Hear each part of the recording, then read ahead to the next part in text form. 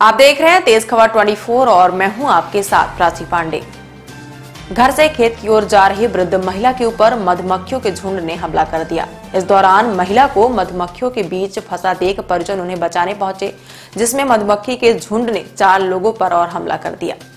घटना के दौरान वृद्ध महिला की हालत गंभीर बनी हुई है, जिसे उपचार के लिए रीवा के संजय गांधी अस्पताल में भर्ती कराया गया है, जबकि चार अन्य घायलों की हालत सामान्य बताई गई है।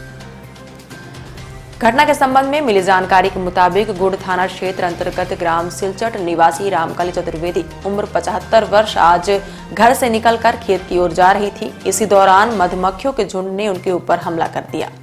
मधुमक्खियों के बीच फंसी महिला की चेक पुकार सुनकर घर के चार लोग दौड़कर उन्हें बचाने का प्रयास कर रहे थे। तभी मधुमक्खियों ने उन चारों लोगों पर भी हमला कर दिया।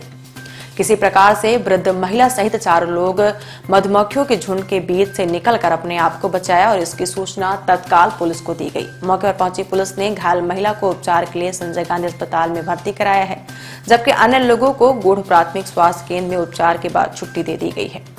परिजनों ने बताया कि मधुमक्खियों का झुंड आसपास के पेड़ पर छत्ता बनाए हुए है और वहीं से उड़कर मधुमक्खियों ने महिला के ऊपर हमला किया है।